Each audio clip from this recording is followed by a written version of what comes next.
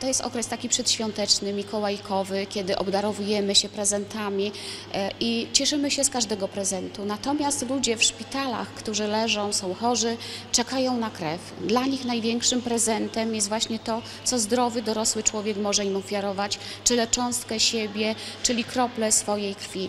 Dlatego tak bardzo, bardzo ważne jest, żebyście Państwo przyszli, żebyście podzielili się swoją krwią z tymi wszystkimi ludźmi, którzy na to czekają. Będzie to właśnie można zrobić w tych dwóch miejscowościach, w Szczawnie Zdroju w markecie Tesco od godziny 11 do 15 oraz w Świdnicy. W Świdnicy to będzie taka większa akcja, będzie się działo dużo ciekawych rzeczy. W Galerii Świdnickiej przy ulicy Westerplatte będzie się odbywała, też w godzinach od 11 do 15 i tam pod egidą pani poseł Raczyńskiej będą organizowane różne pokazy, degustacje. Pani poseł jest też lekarzem, więc będzie udzielała porad szczególnie dla kobiet. Także bardzo serdecznie zapraszamy. Wiele się będzie działo. Każdy z Państwa coś dobrego na pewno wyniesie z tej akcji. No a najważniejsze jest to, że, że oddamy tą krew i komuś uratujemy zdrowie lub życie.